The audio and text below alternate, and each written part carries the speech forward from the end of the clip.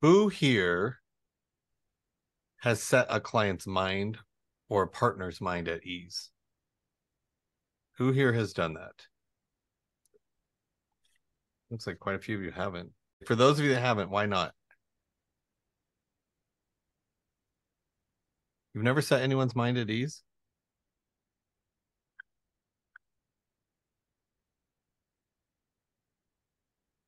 So everyone has, and they just they got like dysmorphia on their arm and raise their hand or Oh, I have many times. Put them at, set them at ease.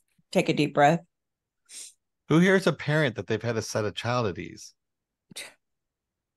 Who here has had a significant other in a relationship that they've had to set at ease?